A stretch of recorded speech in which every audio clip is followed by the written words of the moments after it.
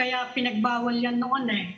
Kasi nawawala daw sa sarili yung mga taong gumagamit niyan and uh, it can lead to ano, to mga well, criminal offenses. Yun ang, yun ang rason dyan eh.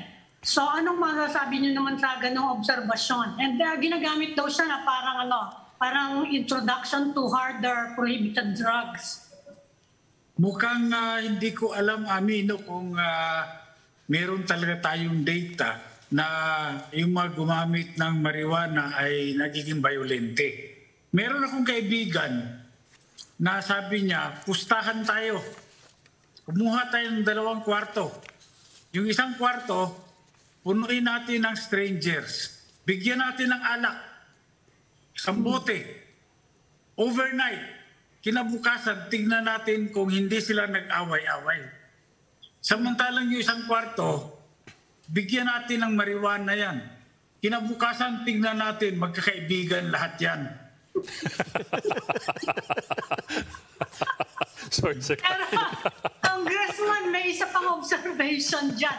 Oo. Sabi nila, eh, kung ganyan ang reasoning natin, baka mamaya pati yung mga ecstasy, yung mga cocaine, eh ganyan din naman ang mga epekto daw niyan eh. Kung hindi naman daw o, o sobrahan, what will stop the government from legalizing these substances as well? Ah, hindi naman siguro pwede nating ihambing yung ano, yung cocaine. Tsaka doon sa marijuana dahil ang cocaine talagang ah, kahit sa saang bansa no nakikita talaga yan na masama rin talaga sa katawan ng tao.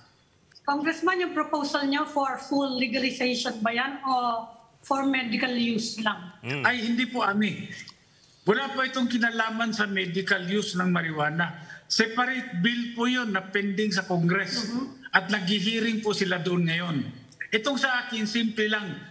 Delisting lang ng marijuana, tanggalin lang doon sa enumeration ng mga prohibited drugs. So that's full legalization, meaning Regardless pwedeng of use. pwedeng mag, ano, mag-plantation, pwedeng magnegosyo.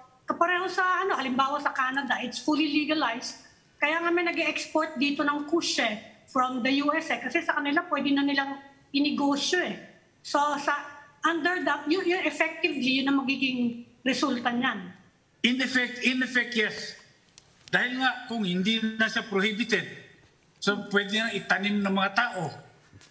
Imbis na magtanim ka ng sibuyas, tanim ka na lang ng marijuana. Mahal-mahal na sibuyas eh. Mas mahal yung marijuana. Baka mas mura pa ngayon.